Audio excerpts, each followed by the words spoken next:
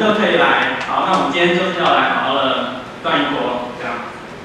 好，那首先呢，当然就是，呃，我们今天有准备一些教材，就是不管是呃 slide 或者是投影片啊，或者是一些资源，都会在这里面。上面好像有个符号，这个符号呢，哎，大家这样可以连得到吗？可以啊，好，太棒了。然后大家连进来之后，就会得到今天的一些范例。那这范例里面就是有一些我们今天课程里的呃城市码范例，还有我们的一些投影片。然后下面这边有一些衍生东西，就假如今天，哎，为什么还没有换电？有点慢了。哦，有了有了，好，看来我的手机没有比较快。好，那这边呢就是有一些延伸相关的文章，也可以去阅读。那最后呢就是我们有一个小小的活动，那这边呢就是比大家的手速。这边有看到一行吗？就是说，哎，现在呢，假如前十五名填入 email 的人，他就会获得一个折价券。不管要上没有关系，你们可以先点进去，然后先先拿到这个折价券这样子。好，那因为呢，我们其实最近有推出一堂新的课程，叫做这个。加密货币实战的一个线上课程，那现在就是用一个很便宜的价格在预售，这样。那除了这个便宜的价格以外呢，假如大家点这个 email 里面的链接，又可以获得五百块的折价，那等于说这堂课只要两千块不到就可以获得，这样大概是总共是七个小时的一个内容，教你怎么样去交易加密货币。那我们今天呢，当然我们今天的主题是做机器学习的。那所以我们就希望说，哎，我们是不是可以把机器学习的东西呢，放在交易呃加密货币上面，去看看说能不能做出一个讯号，在加密货币在交易加密货币的时候可以获利。好，那大家待会呢也可以先下载程式码，或者是呃点开用手机点开这个嗯程式码，那也可以直接执行。好，那我现在 t h Lab 呢其实做了蛮多事情，哎，一下。啊，我们 FinLab 呢现在做了蛮多事情，那有一些就是我们除了有教学的部分呢，另外还有做一些自己在投资的部分。那我们就希望说，哎，之后未来呢，除了教学部分、投资的部分，还有一些媒体的部分，我们想把这个生态系建立起来，带大家一起，还有我们自己也一起来做交易。好，那这边呢，我们就要提到，哎，在做机器学习、看加密货币之前呢，我们就来谈谈为什么我们要用 Python。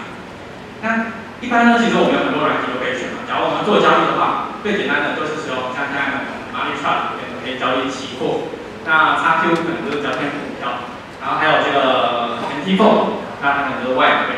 那它的优点呢，就是说，哎，它们都可以很简单的去写一些很简单的语法。那这些语法呢，可能都是两呃 Money Chart 的话，就可能是两三行或三四行、五六行，那就可以做出一个哎简单的交易策略，然后马上就上线可以使用。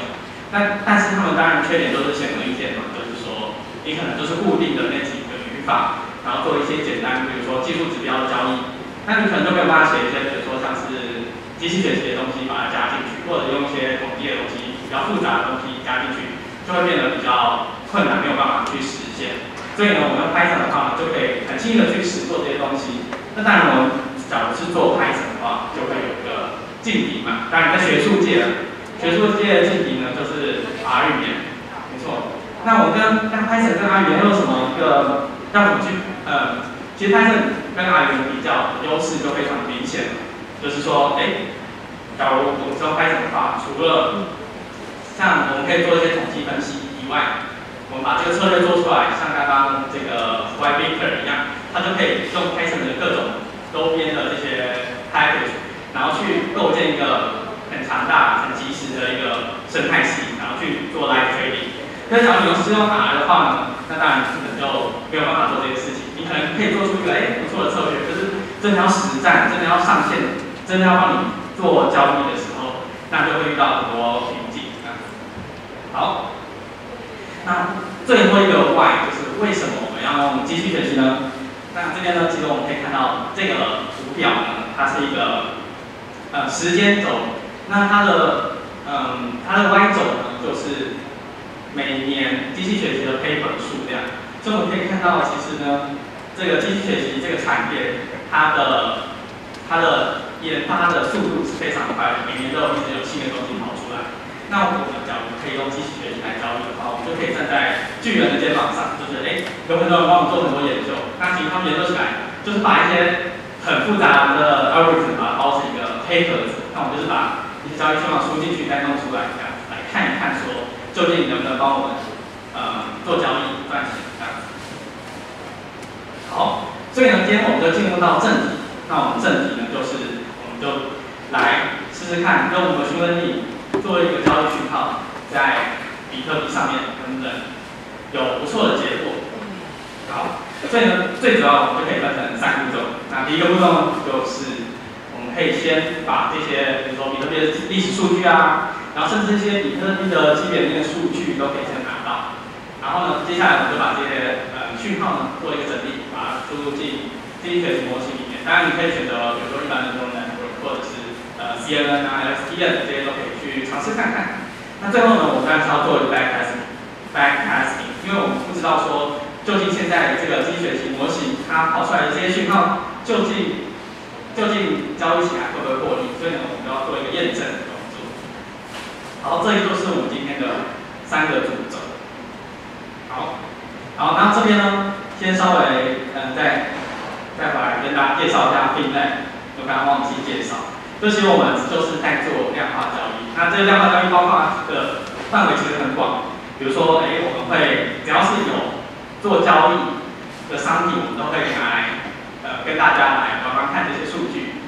比如说呢，我们最近前前阵子我们就有做地产，因为现在其实房地产它有这个 open data，我们政府都把这个公开资讯给释放出来，所以我们就可以把这些资讯呢拿来分析一下，说，哎，究竟，比如说，假如我们正在买房子。那放在哪里比较好呢？这样子，我们就会做一些简单有趣的实验，大家都可以来参考一下。那另外呢，最近就是加密货币。那我们就是今年大概三月的时候，就是有那个，就是突然全世界经济因为疫情的影响呢，系统性崩坏。那那时候比特币也很多意外。可是我们就觉得说，哎，这个时候是一个很不错的时机点，只要大家可以在今年三四月的时候投资的话，那。应该会有不错的获利，所以我们那时候就写了呃一系列的文章，大概从四月连载到五月吧。那这边都是有十二集来做这个比特币的量化交易。那这边你会从刚开始从哎我们怎么拿到这个比特币的资料，然后怎么样去设计一个讯号，那怎么样去做交易，然后怎么样把这个交易的成果呢把它放到云端上面，比如说像是 AWS 让达这种。呃，方选它可以，比如说每一小时执行一次，那它可以执行一个简单的策略这样子。那在这这个系列里面能够完整的介绍。好，那当然这个是就是一般的交易啊，就不是不是跟机器学习有关。那我们今天当然是要比较进阶一点，做一些跟机器学习有关的东西。好，但是呢，在做之前呢，我们要提醒大家，就是说，哎，机器学习它其实也是有些盲点的，就是说，假如我们今天的资料可能有点不正确，或者是有什么样的一个，嗯，资料的 sample 的方法不正确，或者是处理的方式不正确，就导致我们会造成这种 garbage in garbage out 的一种结果。对于这边有个慢号，然后呢，这个站在这个山丘上的是一个开发者，那这开发者就跟那个下面的这个客户说，来来来，你今天就是把资料丢进来，然后丢到这个丢到我这个垃圾堆上面，然后呢，我要做的事情就是帮你搅一搅，之后呢。这个答案，就会从那 answer 右下角这边跑出来。那当然就是，嗯，其实对于机器学习的理解呢，就是说，哎，这中间会有一堆 linear algebra 在在中间做一些做一些计算，但是呢，我们很难去呃理解说，哎，为什么机器学习做这个决定，或者说他做这个决定到底可不可信赖？那这个也是现在我们在做机器学习的交易最。去最有挑战的地方，就是想办法去真的找到一个验证说可行，就是这个模型它是在交易上可行，就是可以帮你获利的模型。那这边呢，其实就是一个这张图呢就可以很清楚的帮你看到说现在的现状是这样。好，但是呢，我们还可以还是可以来做一些呃小小的玩具，让大家来看看说，哎，其实机器学习它真的是可以帮我们来嗯做出教育讯号，做出有用的教育讯号。那也是这堂课我们想要带给大家。好，那这边呢，我们就简单介绍一下我们今天实验的流程。那我们今天实验的流程总共分成两个 part。那第一个 part 就是圈点的部分。那这个 training 的部分呢，其实很简单，比如说，假如我们今天想要 training 一个。就是我们有些 feature，看我们有些 label。那今天这些 feature 呢，比如说今天我们想要圈定究竟这个动物是什么，那我们今天只有一些特征，这个动物的特征，比如说这个动物它可能是黑色，它可能重量是多少，那它年龄是多少。那我们还会有一个 label，就是跟它讲说，哎，其实根据这些 feature，我们找到说这个 feature 对应到的是猫这样子。那我们就可以把这样子的一个 raw data 拿去给模型，让它做学习。那学完之后，我们当然是要，这是第一个步骤。那第二个步骤呢？学完之后，我们当然就是要去验证说，哎，究竟他学出来的怎么样？所以呢，我们会给他另外一个考题，另外一些不同题程，他没有看过。那我们去考考说，考考看这个模型，它已经确定完了之后，是不是可以预测出正确的结果？好，所以这就是我们今天的流程。那我们今天是做，那 V 和 Y 呢？它是做，呃，Y V 可它是做那个。reinforcement learning，那那个都是比较高级的。那我们今天呢，就带大家做这个比较简单的这种有 label、feature 对应到 label 的这种学习。其实呢，效果也是还 OK。那我们待会会有实际的范例跟大家来分享。好，那首先呢，我们假如要做一个呃机器学习模型，那首先一定是要有 data。那我们今天的 data 呢，就分两种，一种是 fundamental 的 data，另外一种呢就是 trading data。那什么是 fundamental data 呢？其实就是说，哎，当今天区块链，因为我们今天是比特币嘛，那区块链在做交易的时候，其实这个比特币上面的金流其实都是 open，就是大家都可以看到说，哎，哪一个账户送了多少比特币给另外一张，这个都是所有人都可以取得的这个资料。那其实这些资料它就可以做很多分析，比如说是不是有人突然有哪个大户突然嗯送很多钱到这个交易所。那他们很明显就是想要把这些比特币，比如说拿去卖掉之类的，可能换成其他的币。那这时候呢，我们是不是可以做出一个警告的装置？那这个是 fundamental data，就是区块链上面，我们可以把一些 information，呃，萃取下来，然后并且呢来做交易。那另外呢，当然就是一般比较传统的 trading data，就是像是价格啊，或者是一些呃技术指标，或者是 order book。好。所以呢，这边呢，我们就有一个范例，就是说，当今天我们有一个，嗯，比特币的历史账，那这时候我们就可以去产生很多技术指标。那这些技术指标呢，它其实就是很多不同的时间序列，那它可能有不同名字，比如说 RSI 啊，或者是 KB 值啊，或者是有很多大家都在用的这种常见的技术指标。那为什么这些技术指标有用呢？是因为大家都在用，所以呢，很有可能大家都会看到这个讯号而做出某些事情。那这时候你就可以利用，因为大家都在用这件事情来做出一个交易，让大家的，让大家都在做的这个决定的时候产生出来的 pattern 为你所用。好，那这个是 technical indicator。那我们就是呢，会希望说，哎，假如我们今天股价在右上角这边，就是滑鼠的这边，那我们呢，就是希望可以用这个技术指标。来回馈说，究竟现在的价格呢是比较乐观，或是比较悲观？好，那接下来呢，我们就介绍一些加密货币常用的一些啊基本面指标。那首先呢，就是 Spend Output Profit Ratio。那这是一个什么什么样的指标呢？我们今天有个例子，比如说今天我们就去看这个区块链上面所有的账户，因为呢，这个现金流它的流法，比如说有一笔。现金它是从这个 address one 到 address two 到 address three 这样子的一个过程，那我们就去看这个 spend output profit ratio。那这个是什么呢？这个就是在讲说，我们今天先看这个 address two 这个人，他当初呢，其实他跟这个就是从 address one 这边拿到了一枚比特币，他那时候比特币价格可能是五千美金这样子。好，那今天呢，可能过了一段时间之后，他又想要把这一块比呃一块比特币呢卖给这个 address three 这个人，然后把它传过去。那他那时候传出去的时候是一万美金，那我就知道说，哎，那这个人他中间转手了之后，可能就是获利两两倍。那这个 spend out profit ratio，它就是在讲说，哎，今天我卖出比特币的时候，究竟是赚钱还是赔钱？那如果赚钱的话，就是大于一。赔钱的话就是小于这样，那我们就可以看到这是比特币的涨呃的价格，灰色的呢就是价格，那橘色的呢就是这个 stand up to profit ratio。那我们就发现它其实有个特征啊，比如说哎，当今天股价在下跌的时候，比如说刚开始这一段时间，这段时间呢就是这个 stand up to profit ratio 就会比较低，那就是可见大家都是在亏钱的。那这边呢，大家在二零一六年之后又开始赚钱。所以我们可以看到这个 stand out corporation 呢，它就会一直比一还要大一点点这样。好，那究竟它怎么样提供我们这个买入的讯号呢？我们可以想象，比如说今天呢，假如我们有一个人，他什么时候会想要买比特币呢？我们可以把时间放大一点。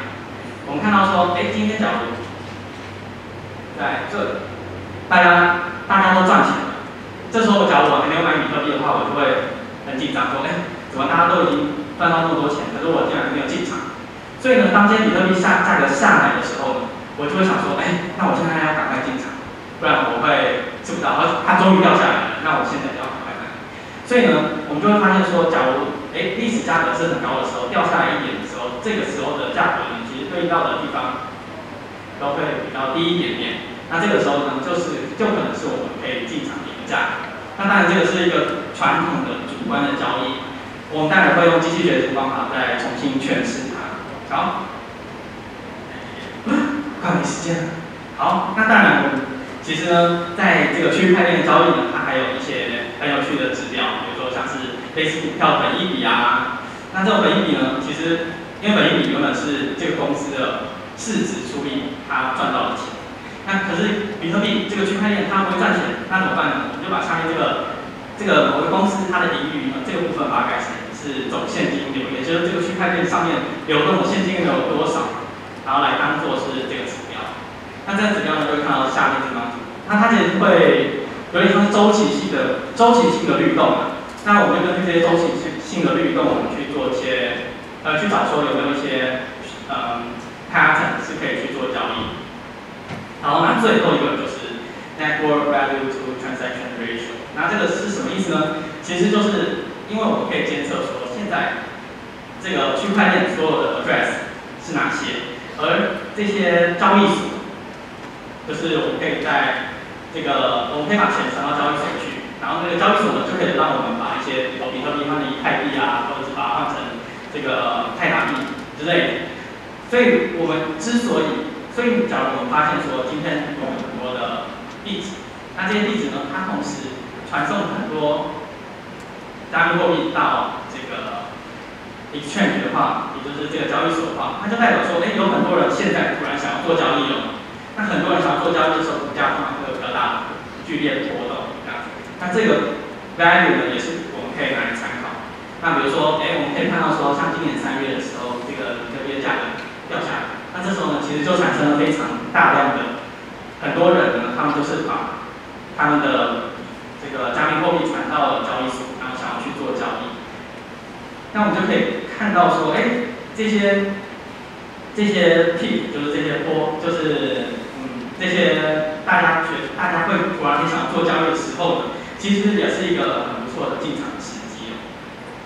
好，那我这边呢就分享我们的城市码给大家，大家呢都可以去输入刚刚这边这边有一个城市码案例，那大家可以用手，不管是手机啊或者电脑。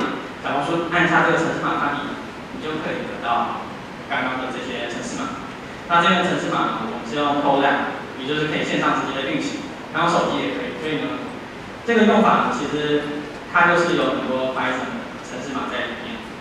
那我们就是按这个执行，这边有一个 play 的这个按钮，那按下去之后呢，它就会开始执行这些城市码。那这边呢，我们已经帮大家写好了非常多的城市码。那这些城市码呢？我们先把它当做是黑盒，也就是 utility function，那我们先不要去管它。好，下面这边呢，我们已经帮大家能够把这些 features 给建好，大家呢只要执行这段程式码，就可以得到我们的 feature。那这些 feature 呢，其实有包含很多不同的技术指标，比如说 RSI 或者是赔率值等等。那也有包含我们刚刚所说的这个区块链上面的资讯，那比如说像刚刚这个传入交易所的这个现金流，还有还有一些传出交易所现金流等等的这些 feature，我们都会把它放在这里面。好，那有了这些 feature 之后，我们就可以开始做 labeling。那这个 labeling 呢，其实有很多问题。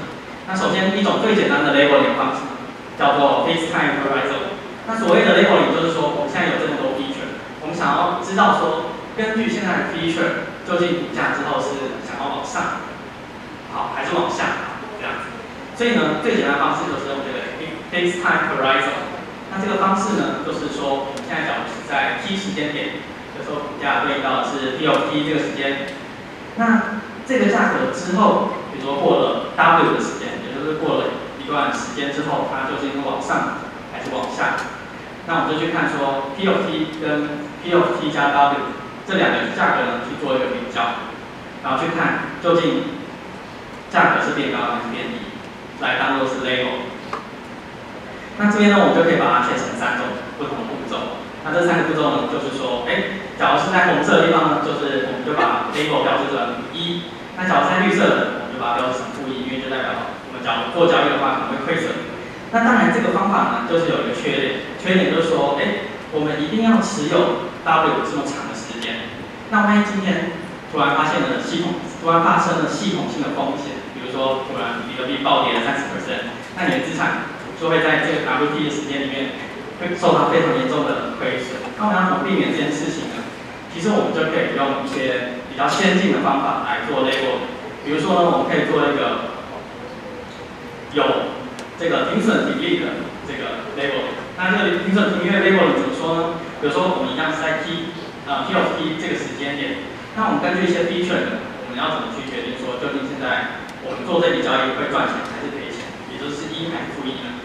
那因为我们有设停损比例嘛，所以我们就看说，哎，究竟这个价格它在随着时间不断的呃变动之后，它是打到上面这边来，还是碰到下面这边？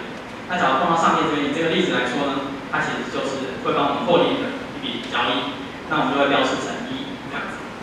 好，那当然后面还有一些不同的交易方法。那我们这边总共介绍了三种。那因为时间的关系，所以我们就在这边简单的带过。好，那然后呢，这些不同的交易的呃 signal 呢，都会产生出不同的内容帮助你来呃做交易。对，比如说像这边右上角这个是一个股价。那这个股价呢，其实有很多不同的密集的点。那我们要怎么样去？那这些 labeling 的方式呢，就可以帮我们去化解这个股价的复杂。比如说到下面这边，下面这边是右下角这张图。那右下角这张图呢，就是跟我们讲说，哎，其实我们交易的时候很简单，我们就是在哎刚开始这个点的时候呢，做买入，然后卖出，买入，卖出，买入的一个循环的动作。那这样的话呢，其实就可以。就可以获利，这样。那当然，这个是根据我们的未来讯号算出来的资料，所以通常都很准确。就等于照这个信号交易，一定会赚大钱。可是呢，现实生活就是说，你的你没有办法得到未来的资料，所以这些讯号基本上你在当下是没办法得到。所以呢，我们才会希望说，可以用机器学习的模型，来帮我们训练可不可以产出类似的讯号？那这样可以帮方便我们做交易。好，那这边呢？我们就可以回到刚刚这边产生 label 的方式。那，因为今天时间的关系，所以呢，我们就先把程式码列在这里面。那我们这边有四种不同 label 的方式哦。那这边四种不同 label 的方式，第一种呢就是我们说的 f a c e time horizon，也就是说它会看一段时间，比如说一百二十个 sample 之后，价格是变高还是变低。那只要变高的话就是一，对吧？那我们就把 label 呢变成一个 binary 的讯号，希望说，假如我们现在做这笔交易之后呢。是可以停利，也就是可以获利这样子。这就是我们的 label。那下面这边我们可以画出来我们的 label 对好，那机器学习模型呢？相信我们在这个排行里面，大家已经听得非常多了，所以呢，我们这边呢就简单的带过。那很明显就是，哎，这边有个神经元，那我们就可以结合很多不同的神经元，并且呢把它做成很多层，这样呢就可以产生一个最简单的 learning 模型。那最重要呢，其实我们就是想要去比较说，哎，在一个现实生活中的环境，跟我们模拟出来我们预测的结果，都可以产生出一个 output。那我们希望，嗯，这个模拟的结果，就是我们预测的结果越接近真实的越好。所以我们会去比较这两个 output 去看它的 error 是多少。那机器人模型呢，当然就是里面有很多神经元，很多权重。那我们就希望去找出，哎，在某一个权重配置之下，可以让这个 error 越小越好。好，那这边呢就是用排骨做出来 training 的。那上面这边呢，这个是二零一九年，对，这是之前的之前的一个范例。那他在 training 的时候呢，其实他就去看说这个 benchmark 是这个 benchmark 就是台股的 benchmark，然后下面这边呢就是这个模型它预测说什么时候会涨，什么时候会跌，在这个蓝色的线。那这边呢，它其实就是一个零到一的讯号。那这个零到一的讯号，假如越接近一，就代表越乐观；越接近零，就代表越不乐观。那我们可以去找一个 threshold，就是去区分说，哎，我们什么时候做这笔交易，什么时候不要。那我们就可以把原本的虽然台股可能在这段时间没有没有什么上涨，但是呢，经过我们继续学习，我们呃预测出来可以获利的区间，我们假如真的有持有，比如说加权指数的话，那我们可以得到一个不错的报酬率。那当然放在比特币的话，效果会如何呢？所以我们今天就做一个简单的实验。那这个简单实验呢，其实我们只用一个非常小的这个 network。那这个 network 呢，就是二十乘二十，然后两层的一个神经网络。然后把它来对二零一九年以前的资料呢去做一个训练。好，训练完之后，我们也是得到这个最后的结果。那这个结果呢，就是说，哎，假如比较靠近一的话呢，就是比较乐观；那比较靠近零，就是比较悲观，因为它是一个情绪指标这样子。那这边要注意的就是，我们二零二零年以前的这些资料都是全理做，所以这边的表，这边的预测能力会非常好。但是右边这边呢，预测能力可能就没有那么好。所以最后呢，我们当然是要来做一些这个回测，来验证说究竟刚刚这个讯号到底有没有用。所以呢，我们就这边做一个简单的回测。假如今天我们刚刚 machine model predict 出来的值，也就是这个呃 estimation y，假如它大于零点五的话，我们就就是我们的买入讯号。那今天我们的卖出讯号是什么呢？我卖出讯号呢，就是一个是停损，也就是假如，嗯，因为这个这个频率蛮高的，它是大概是每分钟的交易，所以呢，假如它假如股价上涨或下跌百分之一的话，就是我们的出场的设定。好，最后呢，我们就可以做回测，得到下面这样子。好，那这边呢，其实这边有点夸张啊，就是它的它的。最后报酬其实是十个十六次方，当然这个这个是太真实了，不要这么拿来交易这会有问题。对，可能还要再做一些更严谨的验证。那这边呢，为什么会这样呢？为什么会这么夸张？那当然是因为首先这是一场演讲嘛，我们当然知道让大家有一些吸睛的数据。那第二点呢，是因为这边呢，就是我们现在还没有设任何的手续费，就我们手续费呢这边都是用，而且我们是用非常高频的交易。照理说这种高频交易呢，其实我们把手续费算进去的话，其实会打非常多。那大家到时候可以去回测看看。好，那最后呢，我们当时想验证说，哦，看起来好像蛮好的，但是我要怎么知道说这个这个不是高于均高于高然后刚好很好，还是我现在只要重跑一次，万一它跑的比较不好，那我到底要怎么样去信任它？我怎么知道说究竟这个 model 它确定的有效果呢？那我们这边呢，就可以去做一个简单的 verification。那我们可以用蒙特卡的方式呢，去随机的抽样，对比特币的这个价格，我们随机的去做一些买卖，然后得出来的一个报酬率的分布就会长这样。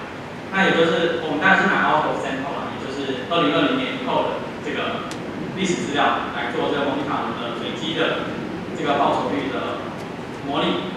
那我们就可以看到，假如今天我们有一个很很就是很笨的机器人，它 random 的进去，在某一个时间点买入或卖出，买入或卖出，持续了好好持续了这一年，二零二零年都在做这件事，最后它会有总报酬。那我们就去看说，哎，它报酬是多少？那这边呢，一的话呢，就是它赚赔，在这边。那假如它大于一的话呢，就代表哎它获利；那它小于一的话，就是它在赔钱这样子。那我们就可以得到一个这样子的分布。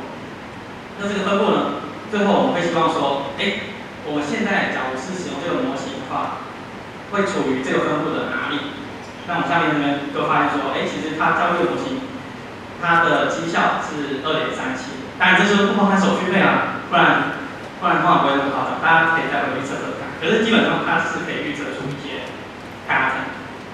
好，那这个二点三倍呢，它其实就在上面的这个 distribution 的百分之九十七的部分，也就是当今天我们筛骰子筛一百次，里面可能只有三次会想到这么好的结果。可是呢，因为我们做机器学习的模型，然后让它一次就跑出来。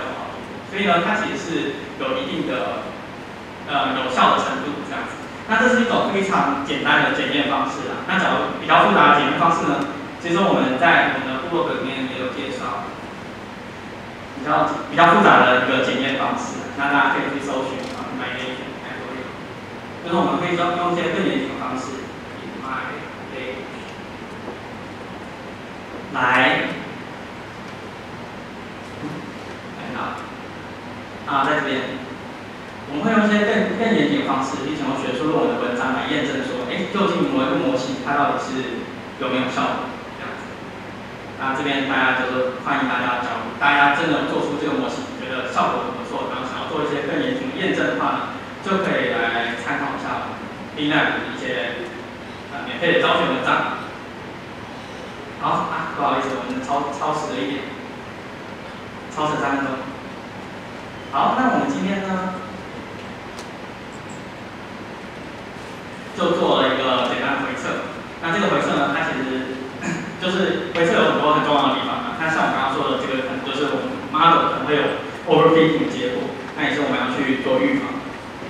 好，那这边有很多不同的 solution，像我们刚刚做的呢，其实就是一种很简单的蒙地卡罗的 verification。那当然呢，在现实生活中还有很多不同的啊。解法，那假如大家有兴趣的话，可以在我们的文章里面找到一些资讯。那我们这边因为时间关系，所以就快速的带过。好，最后呢，我们呃今天总结一下今天所教的一些内容。那首先呢，我们就介绍说，哎，加密货币里面有哪些 fundamental 的资料，有哪一些是呃技术技术指标的资料，有哪些区块链上资料可以去把它萃取出来来做交易。